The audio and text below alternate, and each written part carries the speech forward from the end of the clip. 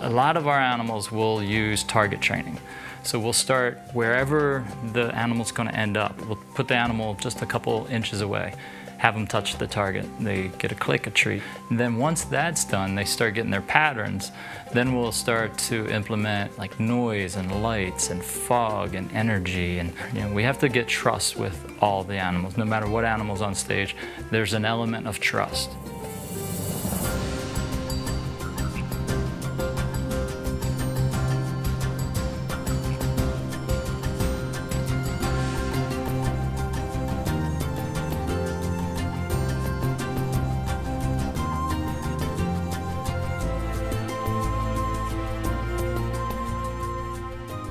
The scene that has the most animals in our show, I believe, is the temple scene. There's animals running in every direction. They're running out the aisle, they're running across stage, birds will be flying. It has uh, baby doll sheep, Jacob sheep, Saanen goats, Nubian goat, birds, two donkeys. So that scene has a lot of animals in it.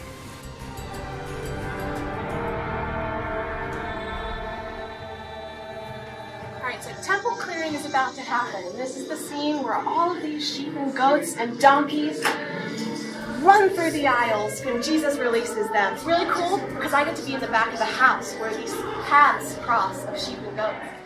And it is this really cool dance because one's going this way, one's going this way, a donkey's running up this aisle. But they do it because they're so well trained.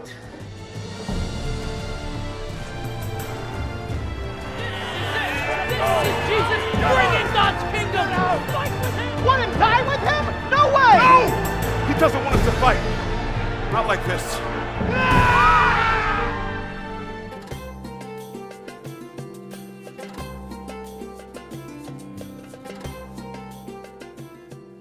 It's the end of the day. These guys are done.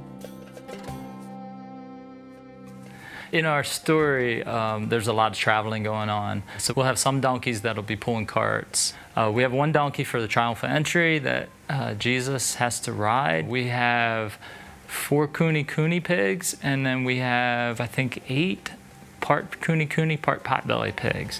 We're going to be loading the prodigal pigs onto the set piece and getting them out on stage.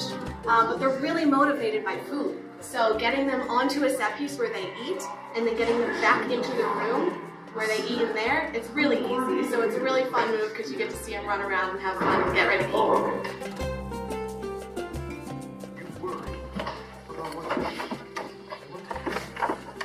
So we feed them nice and slowly because they're going to be out in the set piece for maybe a minute, 30 seconds. So we want them to be eating and facing the audience. The animals can definitely influence the emotion of the scene. We have so many unique animals that people just have never seen before. So to see them live, up close, um, I think is a special thing.